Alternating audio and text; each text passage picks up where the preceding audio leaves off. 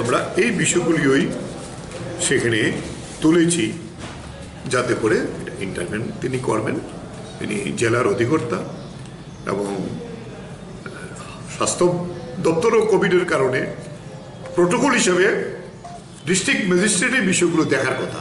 তিনি স্বীকার করেছেন, তিনি ভিজিট করছেন, সব করছেন, কিন্তু রেমিডি নেই।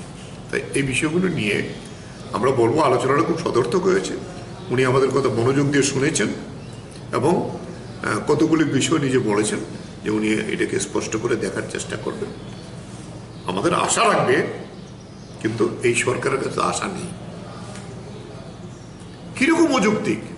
গোটা দেশে আনলক ফোরে বলছে যে সবকিছু ওপেন থাকবে। আর ত্রিপুরাতে আটটার পরে কারফিউ আমরা বলেছি আটটার পরে কি কোভিড ঘোরাঘুরি করে?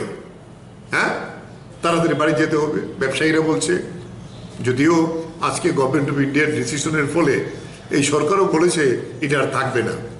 আমরা অন্তত কিছুটা হলেও রক্ষা পেয়েছি। এই অব্যবস্থাটা কেন হবে? তাই এই বিষয়টা নিয়েই আপনাদের মুখোমুখি হলাম। ডিএমের সঙ্গে যে আমরা আজ আলোচনাটা করলাম।